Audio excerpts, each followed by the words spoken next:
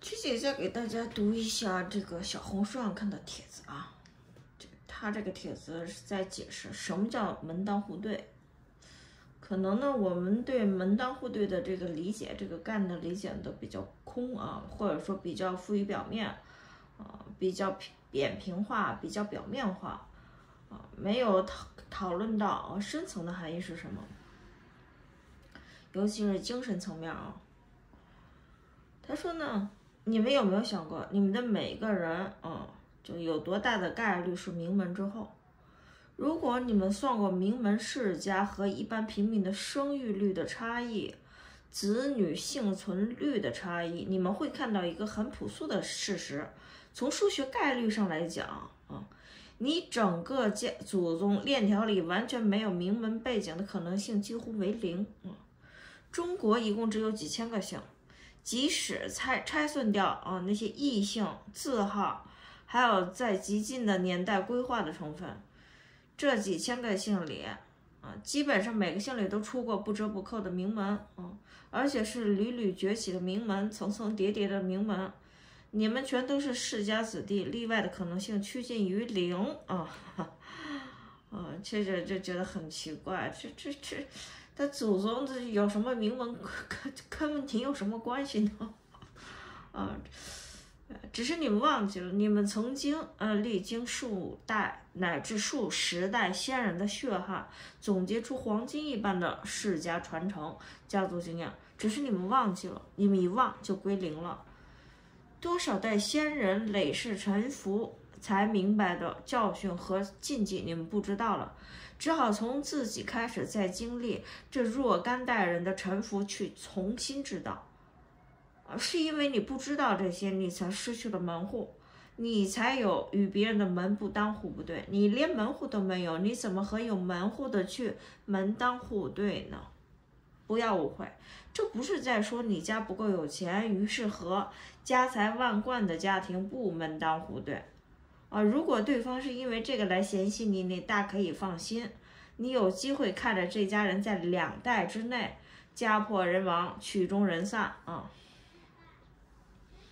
这样看待门户的家庭没有资格称门户啊，那不是你跟他们门不当户不对，而是他们跟你门户不对。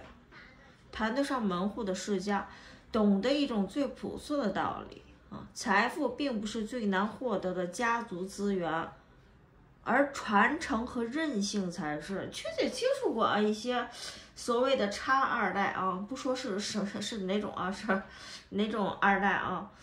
就发现他这个人身上是完全没有任何的韧性，没有任何的这种优质的品质，任何的天赋都没有。他就靠着他们家人的啊这种宠溺，把一坨屎捧到了黄金的放，用黄金的碗装起来。缺姐一看这这这这这所谓的二代哈，这他就不可能，就缺姐就非常确信。他这两代之内，他们家就这个家族就彻底败了。本来他的家族兴起呢，也是非常的疑惑的啊。这在封建农耕时代几乎是不可能兴起的。你看啊，他爹的那个家族呢，就是那种市井小民，嗯，大老粗啊。再往前做几代呢，是在附近的啊，就这么一个一个村子里。家里有几几分田的这种，是这么一个。然后呢，到了城市里啊，作为城市里的这种屌丝家族，他妈那个家族呢，那个崛起呢，就更加 更加可笑了。他妈那家族，他外婆呢是这种孤儿院的啊，然后他这个外公呢，是另外一个，就是另外一个东南亚国家的一个臭屌丝，就是那种无业游民啊。找不到工作啊，又没学历，又没文化，什么都没有啊。然后呢，这种无业就属于流氓无产者。他外婆呢是孤儿，哈，啊，就是被家人扔到孤儿院的那种。这都是两个流氓无产者，是成了啊这个共产党的红方的呃那个这个这个这红福吧，可以说，都加纷纷加入了共产党。然后呢，他们都是做了一些文职的工作，嗯，比如说卫生员呐，比如说什么的，是什么站岗放哨啊之类的，他的外公的那个那像个小鸡仔似的，也不具备打仗的能力啊，反正就是这种军队里混饭吃的。然后呢，因为呢，就是两个人呢都在读书，是吧？在那个年代，能读点书，能写点字，就叫知识分子了。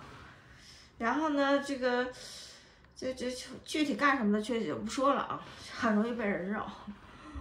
然后呢，是这种的，然后他的这个，然后这解放以后呢，啊，把他的外公外婆呢搬弄到了这个城市里，给了一官半职，啊，算是吃上皇粮了。然后他的这个妈啊，他妈呢，还有他的那些亲戚们呢，呃，呃，亲戚啊，下放到农村去了。啊，其实就是知青嘛，他就是所谓的知青，其实呢，在那个年代其实是没什么文化的，啊，这只只是呢，啊，就是也是会卖弄点儿，啊，这是会卖弄点这个，就是钻营点这个，怎么样回城之路是吧？迂回之路，啊，这这这说太具体，确就不说了啊，说了很容易被人绕。然后呢？你说他们这家族呢，既不算书香门第，嗯，也不算名门望族，两个家族母系父系都不算，都是这种流氓无产者啊，流氓无产者，然后居然呢就托了这种时代的洪流，啊，这这这就沾了这个光了，啊，就把他们捧成了什么所谓的名门望族，然后曲姐一看，就他这个人身上体现的全是这种最劣质的。像智障一样的，只有这种小市民的狡诈奸诈，又蠢又坏啊，没有体现出任何一点儿啊，就是有素质的地方，连普通的就普通市民阶层的这种素质都体现不了。呃，雀姐跟其他的人也聊过这个所谓的二代，那就大家对他的评价是非常呃客观的，一致认为他是又蠢又坏，像个智障。你所以说呢，缺姐就认为呢，你说他怎么能称得上？就但是他们家族的人呢，自视甚高，就这种流氓呃无产者，一旦是小人得志了，是吧？穷人乍富了，就很容易翘尾巴，嗯。那缺姐就奇了怪了，反正缺姐就看吧，两代之内他们家肯定是啊要绝后的，肯定要败家的。说句实话，这种就说不是说你们家族现在积累的这些家族资源啊，这这不是门户，什么呢？是你得有这个素质，你得有这个天赋，你得有这个基因，是吧？超越自身和时代的胸襟和自觉才是呢。这才是你你这个体现着你这个家族的优良基因的这个体现。那缺姐就在这个所谓的二代身上完全没看到。只看到特别劣质的基因，劣质劣根性啊，卑劣的品性。所以呢，确切讲说呢，就是说你如果想繁殖的话啊，你要记着，你自己就是你后人的祖宗，是你自己家族的开创者。什么是门当户对呢？永世长存的家族和另一个永世长存的家族永远门当户对，啊，一时间之间谁盛谁衰。对于永世长存的家族来说，都只是次要的、暂时的起伏而已。你看，缺姐的妈来自这种世袭大地主的这种家庭啊，缺姐的爹呢，就至少他的爹是贫农啊，但是呢，他的爹的爹就是缺姐爹的老太爷啊，就是爷爷，爷爷那辈儿啊，好像是做医生的，就是农村的那种中医，是吧？到底是他们的父系家族到底是干嘛不知道，至少缺姐知道他爹是种地的那种赤贫的农民啊。所以呢，缺姐呢就是说，呃，就是很多的，就是说性格上啊，就是对人的这种品性上啊，缺姐觉得自己就是天生就向往光明啊，天生就向往平等，天生就向往自由，这是基因给缺姐的。肯定不是缺姐父系家族给缺姐的，那一定是母系家族给缺姐的。所以说呢，你得有这样的品性啊，你有这样的品性你才能够啊算得上你的门户这就是你的门户。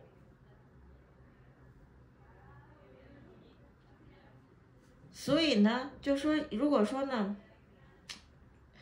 这个品性这个天赋啊这个基因你好基因没有的话你都不算是门户对吧？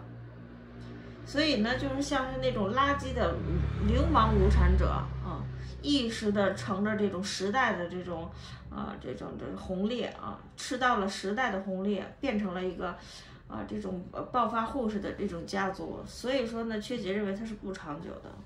只有说你的基因，你良好的基因，你的品性，你的性格啊，你对人对事对宇宙的这种良好的这种品性，才是门户。嗯这才是讲究门当户对的啊，正确的理解，不是嫌你穷啊，也不是嫌你不走运，而是嫌你没有身为一个家族祖先的自觉性。缺姐就很有这个自觉性，缺姐就一看啊，分析了缺姐老公的那家族，缺姐呢，这老公的家族呢，她母系家族也是跟缺姐的这种母系家族差不多，也是远远的优于父系家族，都是。母优父劣啊，母系家族特别优质，父系家族特别劣质，特别低劣。所以呢，缺姐就认为呢，缺姐的老公这个基因也不好。缺姐本缺姐老公的本身他有性格缺陷、认知障碍，他懒于思考，他惰性，他惯性，他缺少就是说换位思考的能力啊。所以说，缺姐呢就觉得这样的啊性格缺陷，我是没办法给他生孩子的，因为这样的话，我们就必势必造造造成了一个，就是说，缺姐的认知比缺姐的老公是要高很多个维度，嗯，然后呢，因为孩子的出生啊，就带来更多的问题。缺姐的这个老公呢是不具备啊当一个父亲的。这种保护下一代的这个能力的，他没有，他没有处理任何人际纠纷的能力，他只有像个鸵鸟，鸵鸟政策，他把自己脑袋埋在沙子里啊，就像他爹，像他妈那样，他妈呢是这种做从小做孤女的，就没有爹，爹死早嘛，没有爹保护的女人嘛，所以他就是这种啊妥协政策然后他爹呢是这种来自农村的。啊，这种贫雇农长得又极为矮小，来自矮子家族。矮子家族有矮子男，往往在男权社会里，他有个特点，就是特别懦弱，特别自卑啊，特别怂，欺软怕硬。这是矮子男的特性。所以呢，他的这个这个缺缺姐观察了缺姐的公公是怎么样跟外面的那些人打交道的，他都是那副奴颜婢膝的那种嘴脸。他永远没有说，你跟这个人是平等的，是吧？他没有，他没有平等意识，他永远都是去像个像条狗去趴巴结人家。尤其他长得矮，嗯，九九公公才一米六，他跟他以前的那些就是旧熟人们啊，一米八几的熟人们，他恨不得把脑袋扎人家怀里边去。缺姐的公公就干这事儿，你看他肢体语言就非常令人厌恶，特别令人瞧不起。你为什么要像条狗一样的去把把你的脑袋扎在人家的怀里说话呢？他的肢体语言就很让人讨厌，他那姿态也很让人讨厌。他在外面像条狗一样的去跪舔别人，啊，然后关起门来，到了在缺姐和老公的面前，马上摇身一变成为，啊高高在上的皇帝了，啊，就是你看看他他有没有平等意识？他没有。缺姐认为这就是奴性。奴什么叫奴颜婢膝呢？奴性是有两面性的，产上欺下。他认为你比他低等啊，你你你是他的下级，他就可以欺负你。对外人他就可以像条狗一样的，特别的贱、卑贱。缺姐这这种这种品性，缺姐认为这种品性是非常低劣的，这不是一个好的基因。嗯，所以说呢。缺姐的这种天性的这种平等、自由啊、民主的意识，和缺姐老公的他从他爹那里继承的这种奴性的基因，但是缺姐老公他有一点好，他不欺下，他从来不欺负别人，但是他也不会保护别人，所以呢，这这种呢就是不能嗯，不能保护孩子。那缺姐认为他不适合当一个爹，因为你。你和你的老公一旦生了孩子，你们就是你们孩子后代的祖宗，对吧？你作为祖宗，你都没有给孩子提供一个好的剧本，一个扎实的啊，一个一个剧本，一个扎实的基础，你这后代，你这这一支人就完蛋了。你就是在沙子上盖大楼啊。所以说，缺姐就是坚决的拒绝了给他生孩子。我只能说，我跟你这一世是吧？跟你这一世，我们做做生活搭档就行了。所以说，这种这这就是缺姐作为一个家族祖宗的自觉性，缺姐就是有世袭贵呃世袭世袭大地主的这种基因，我就意识到我的使命是什么，这就是我的使命。我作为一个具有繁殖功能的女性，我必须得对我的后后代千千万万代我得负责任，我不能制造垃圾的后一代，对吧？这种自觉性才是谈婚论嫁的基本门槛。说你真的迈过了这个门槛，那你就明白这个世家大族啊，真正的世家大族不会认为什么，就是你现在的这个什么就门不当户不对啊。你这永生的东西就什么呢？缺姐的这个意识，缺姐的这种理念，这才是永生的。有什么高低贵贱呢？有什么贫富贵贱呢？如果说我缺姐没有这种自觉，像像缺姐一直举例的那个女的，就不管怎么说，你也是个村花吧，啊，你为什么要找个猪头三生一堆猪崽子呢？一明显看起来女儿像爹，两个两个女儿长得都像个小小猪崽一样的，这两个小猪崽的女孩，她在这个成长过程大概率会有容貌焦虑的，颜值焦虑。他那儿子长得也不怎么样，也是浪费了他的基因。你说这个女人她有没有一点子宫道德呢？她没有，她只想满足她自己的自恋的啊情绪血包的那个需要。我老公所谓的假装的对我好，一时好一会儿一时坏的对我好，哎，他就吃这个，他就贡献了他自己的繁殖价值。啊，生出一堆劣质的制造品，说要不呢？你说，你说我孩子，就是说这些劣质还，最起码你给孩子一个物质保障啊。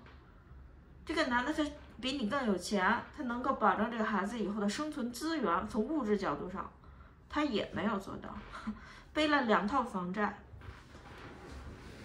背了两套房子的债务，只要是有一方。不小心出了意外，谁死了，或者是离婚了，或者谁找小三儿了，搞破鞋了，啊，家破人亡了，那你说这他这这些债务怎么还？啊，这你说他们有多多么这这两个人多任性啊，多冒险，他们就把自己放在火上烤。这种人他就是没有作为一个就后代祖先的这种自觉性，这就是属于。劣等的家族，劣等的基因啊，还有低等的自觉性。说你没有这种自觉性，这就不是门不当户不对的问题了，那就是你你就不要祸害你的后代了，对吧？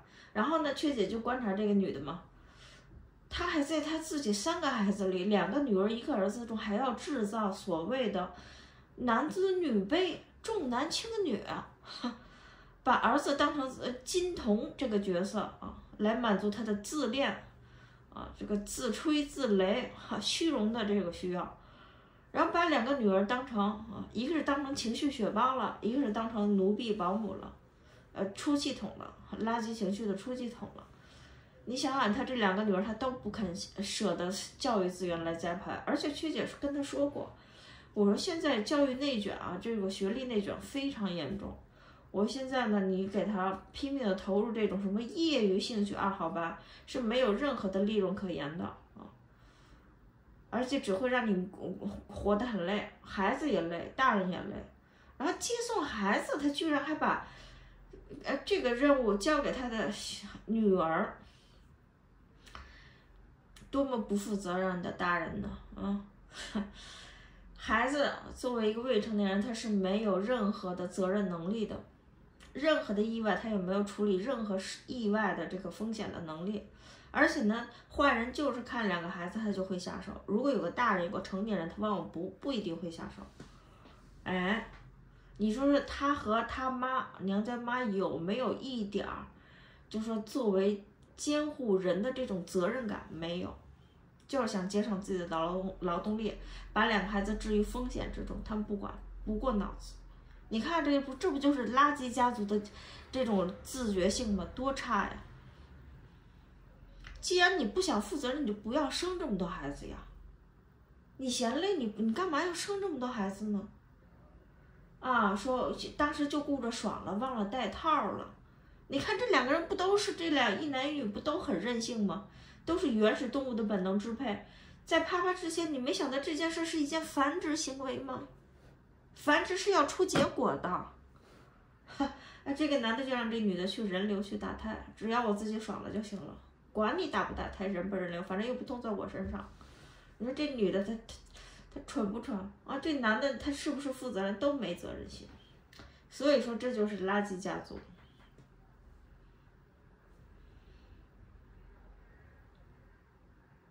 说什么叫身为祖宗的这种自觉呢？就是你你和这世上的任何一个家族都只有。对方能不能配得起你的问题，没有你配不配得起对方的问题。你看缺姐就明白，缺姐老公的那个，嗯，那个基因、那个家族，他的认知维度，他是配不上缺姐的。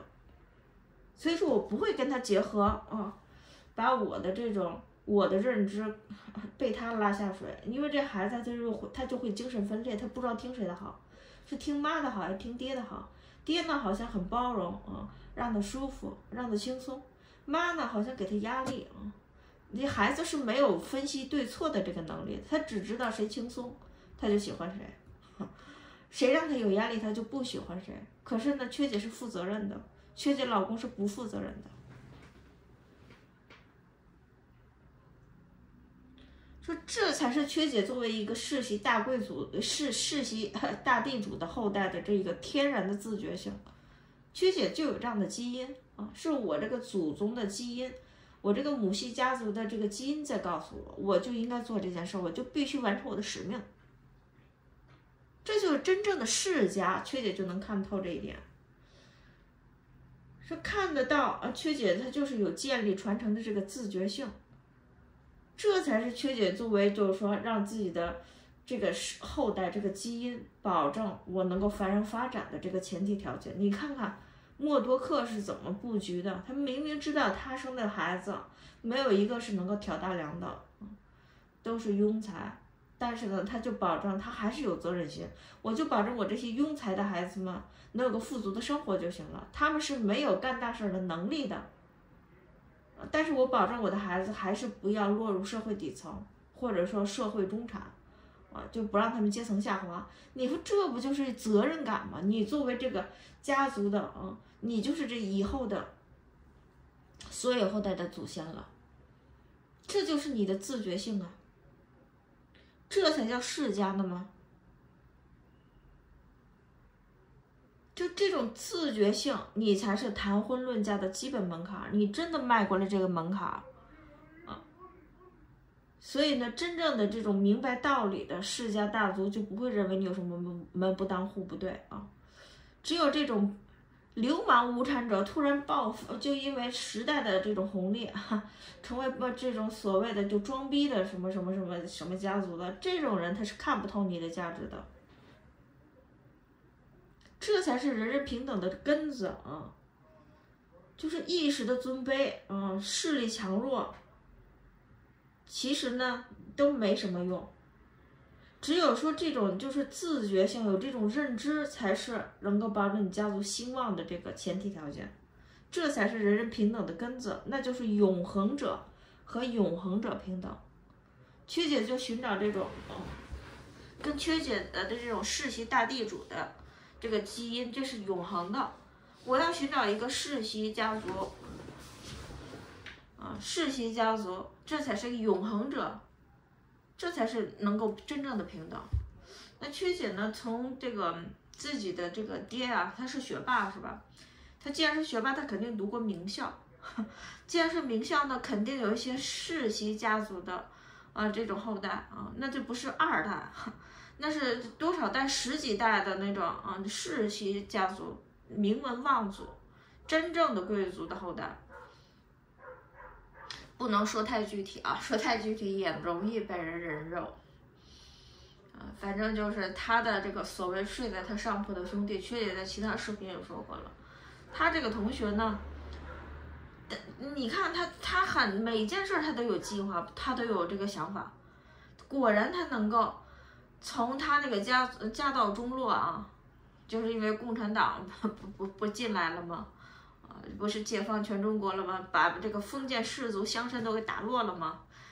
哎，但是他还能够崛起。你看，这就是基因的重要性啊！哼，啊，这这个这个你不服不行啊！啊，他就有这种作为啊，他这世袭的这个这个名门望族后代的他这种自觉性，这个人真的厉害。那缺姐一看，那这缺姐的爹他居然好意思舔着脸去跟跟同学会，哎呦喂，你有什么资本跟人同学会呀？你看看你混的什么样，你看看人家混的什么样。缺姐的爹真的是没点逼数啊！就不要说，都不用嘴巴说，你就看一眼，你就看形象、看气质，你都能看得出两个人的啊所处的社会地位的这种天壤之别。曲姐的爹完全是可，因为他自己，他这种垃圾基因，他认知不行，就说你靠一时的就是学霸，一时的聪明，一时的专注。啊，一是学霸的抗造的能力，你只是让你 啊十年寒窗 啊，这个脱离了农门而已。但是你不能真正的跨越阶层。缺姐的爹他仍然受制于他那种屌丝家族的那种呃垃圾基因的认知，就是那种劣等的认知。他认知不行，认知才是决定你这个人能不能跨越阶层的关键。而不是说你靠一时的说，哎，我我读个名牌大学的学历，啊，这我就跨越阶层了，真不是。北大的也大把的有卖肉的，对吧？啊，现在北大的、清华的大把的去跑到深圳的这个啊什么中学啊，呃什么什么哪个街道办事处啊当城管 去打人了，去当狗了，这叫清华北大。所以说呢，就是缺姐举例的那个什么差二代啊，他他肯定是三代而亡啊。这你而且缺姐发现他们那家族呢，就是也有一个特点，除了他父母生了他这么一个独生的，啊，他其他的那两个亲戚，就母系家族两个亲戚都没生孩子，肯定是三代而亡的。所谓的这种啊名门。他们就是不值得特别关注的烟尘了啊，就没有资格得到重视，也没有必要在意他们。他们彼此间的态度也最终随着他们的消亡而毫无意义，当不当对不对都是虚无的啊。能成为门户的啊。能成为门户的肯定是门当户对。缺姐的妈，所以说缺姐又在复盘啊，自己上一代人。缺姐妈干的最蠢的一件事儿就是什么呢？哪怕你是地主家的狗崽子，三十三十几岁没人敢要你是吧？但是你仍然要去寻找地主家的狗崽子，你不要找这种垃圾屌丝，穷屌丝吃女人吃的非常之凶悍。缺姐的吗？他有这样自觉性吗？他没有。啊，他。他还有这种什么，还有这种什么娇妻啊？你看我这个大美女啊，啊落入你这丑渣男的这个手里了。你丑渣男就觉得你好好表现，呃，用其他的价值来补。但丑渣男不这么想啊，丑渣男你都被我搞定了是吧？结婚证领了，孩子也生了，那你的钱就是我的钱了啊。然后缺姐爹呢，就天天攻击缺姐的妈长得老。缺姐的妈就天天攻击缺姐的爹长得丑，嗯，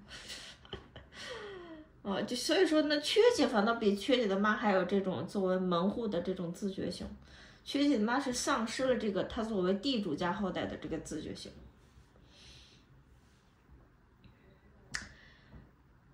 所以哪怕此时你贫他富啊，你贱他贵。但是他们都没有身为祖先的、身为祖宗的这种自觉性。什么叫是祖宗的自觉性呢？就是不再是从自身的立场来看待成功，而是把成功来当成一种家族的事业，每一代的祖宗都不求啊都不求速成，而要力求什么呢？为家族后代有更进一步的夯实基础。就一言以蔽之，就要求事业，但是更要求基业，代以代际啊，终有尽时。一人一代的能力呢，总是有限的，机会呢，总是难得的。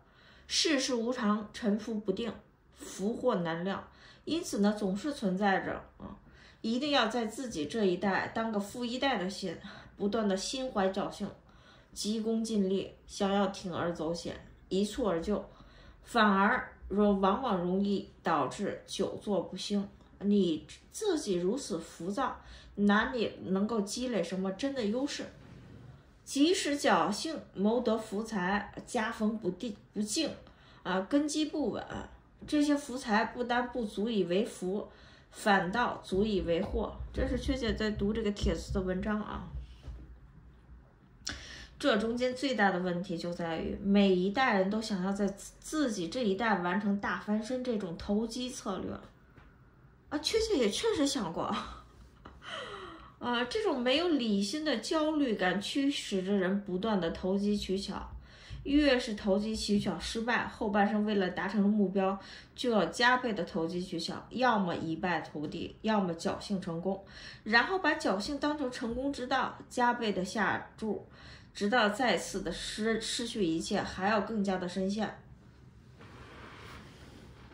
你看看。缺姐也玩过乐透是吧？嗯，还玩过什么呢？还玩过股票，呃，还玩过这个赌那个这个川普还是拜登胜，都输钱了啊！的确是输钱了啊！所以你呢，就是以家族基业为考量中心的人呢，就可以轻松的摆脱这种恶性循环。正确的家族策略是每一代人都谋求为下一代创造更好的根基，哪怕每一代都只是拱一小卒，代代不息，也终有一天会走到这一代人想不成功都难的优势状态。你看啊，就是曲姐又在这个小红书上看到，她说呢，要不是我爷爷从农村到了县城，我爹从县城到了省城，我从省城到了京城。我的儿子能出生就在京城吗？你看他每代人，他经过四代人的努力接力，他们是从农村啊到了县城，县城到了省城，省城到了京城，京城那到他儿子这一代就出生在京城，有有这个北京户口了。而且这种成功呢是水到渠成的，自自然然的啊，且因为代代家风的建设积累。这成果足以持久，能循环光大，啊，因着财富可以开枝散散叶，啊，将来呢是越发的同气连枝，从总体上来说就更加的稳固。那缺姐就复盘吧，就说缺姐 那个那个丑爹的啊，他那个名门望族的那个那个那个，后来做了正国级领导的。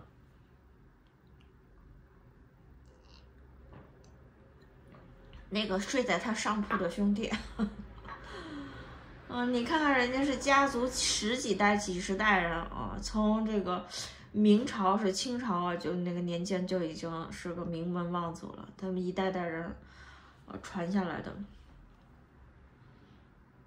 那真的是不一样。他不成功都难呢。缺姐一听他的，就是说，缺姐的爹跟缺姐说，他这个对吧？这个大官的这个同老同学，他的表现，他在校的表现，嗯，他那么年轻，家里人他就没有一个人去教他，他就知道他应该做什么。哦，你说，你说，就作为我们说我们来自这种垃圾屌丝家庭，家境差的，你往往你的父母还是这种啊自恋型人格障碍，他还要作践他不需要的那个孩子，不一定是他不喜欢或也。更不等于这个孩子没有天赋，没有这个，呃，没有资质。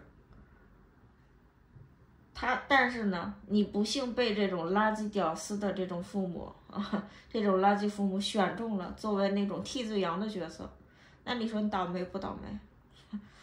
啊，所以说在你二十岁之前、三十岁之前，你很难想明白走出父母给你设置的这种劣质的剧本。等你想明白了，你人生嗯也基本上就底色铺在那儿了。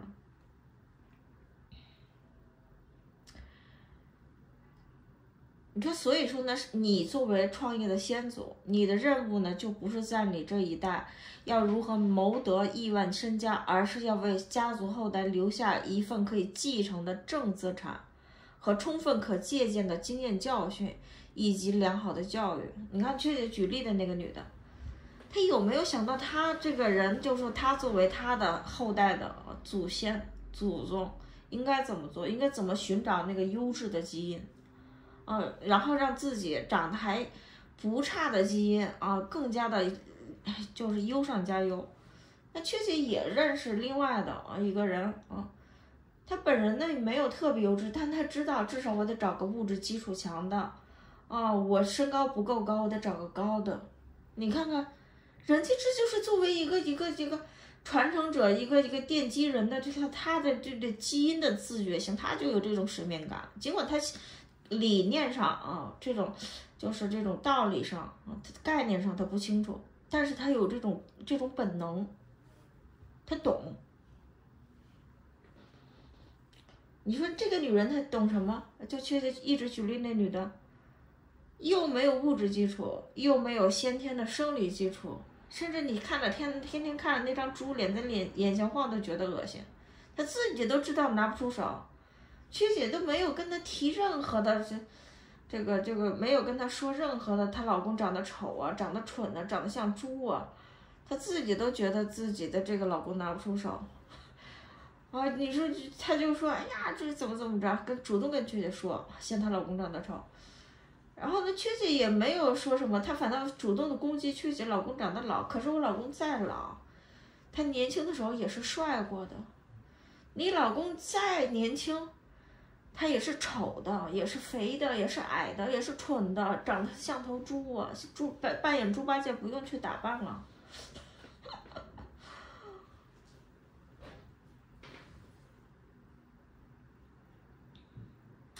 所以呢，作为呃，就是一旦你的眼光呢不是谋你这一世啊，而是为了谋万世，你做事反而容易有定性啊，有踏实的成果，有同。有这种朋友啊，有意料意料之外的帮助，反而比那些逼着心思必须一代成功的人呢更容易获得真实的成功。哎呀，说的真好，雀姐真是对雀姐是茅塞顿开啊。说你的家族到底以什么为界呢？就是基业所及，即为主族人啊，不要以血缘为界。我们看，血缘。说句实话，曲姐真的看不上雀姐的爹的父系家族那个垃圾基因。曲姐一看他他那个家族啊，那个垃圾基因呢，就像他妈，他那个妈长得特别丑，然后他的爹长得是非常帅的，大概率是混有了什么异族的血统，反正长得不像汉族的老头儿啊，长得是特别特别像那个，就是那种好像是跟什么。就是那种那胸不是那种突厥的那种，啊，就是包括曲姐的头发都是卷的，也是混有了一定的异族血统吧，应该是，这个不太清楚啊，只是说光感上是这样。所以说呢，这个而曲姐的爹呢，就长得完全比他那个丑妈还要丑，缺姐的爹那是丑的触目惊心的丑。形容猥琐，嗯，所以说呢，缺姐看不上他那个基因，真看不上。所以说呢，缺姐就没有跟他那个家族有什么联系，我就看不上那家族，是吧？这句话，这个帖子继续啊，继续读一下，说你的家族要立得住，要把你和你基业相关的所有人，嗯。都视为家族成员，而不能仅仅偏向你自己的血缘呃亲属。你看血缘关系其实真的不可靠。缺姐看就缺姐爹的那个父系家族的垃圾基因，缺姐是看不上的母系家族也有一部分有些 垃圾的品性，就是缺姐的姨妈、大姨妈那个家是非常垃圾的。所以说呢，就是跟你基业相关的所有人，你要视为你的家族成员。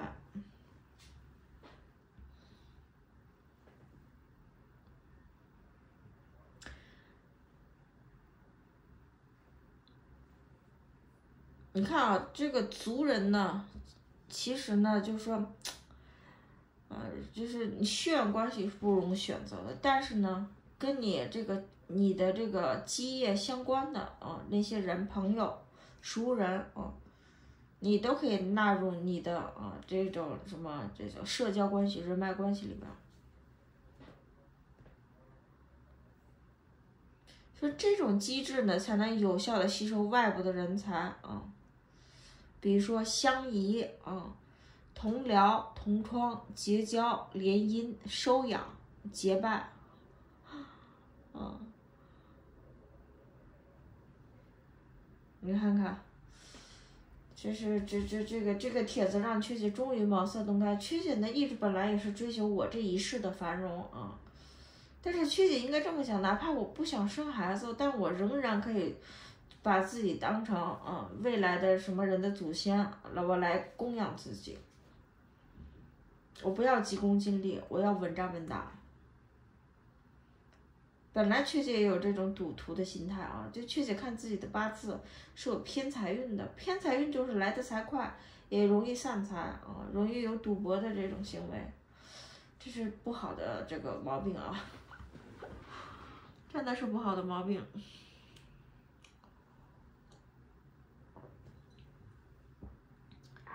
所以呢，就得守财啊，绝对是非常的稳扎稳打，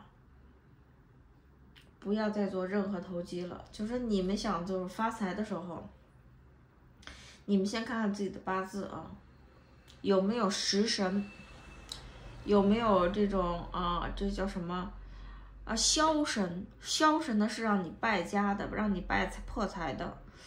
有这种啊食神是让你发大财的。然后你再看看有没有伤财，伤财也比较危险。你看，确实开始研究玄学了啊，对玄学开始越来越感兴趣。因为玄学呢，嗯，你会发现很多事情啊，你用真正的就是说这种自然科学是没办法解释的，但是玄学它预测的就是就准的。按照这种方法论或者说按照实证派，那你就相信这套理论就行了。到底是为什么，也没人能解释。缺解能唯一能解释的就是，啊，熵增定律，啊，宇宙的法则，早就已经写好了剧本了。